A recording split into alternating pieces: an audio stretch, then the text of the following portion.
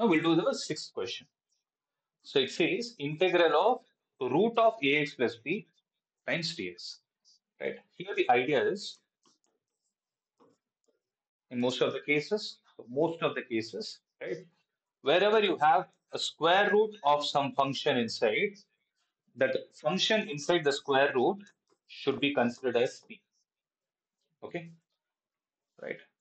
So having said this, in this case, we will substitute ax plus b as t because that is a function inside the square root.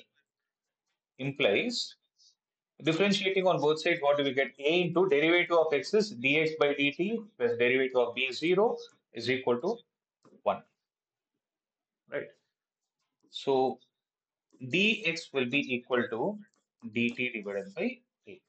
Now having said that, wherever ax plus b is there, I'll replace with t. So it is square root of t into the place of dx, we can write it as dt by a. Okay. So it is square root of t into dt divided by a. So it is 1 by a into integral of square root of t can be written as t power half times dt. Okay.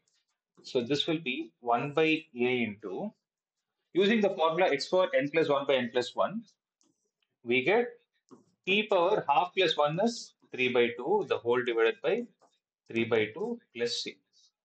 Okay. So the final answer will be 2 divided by 3a.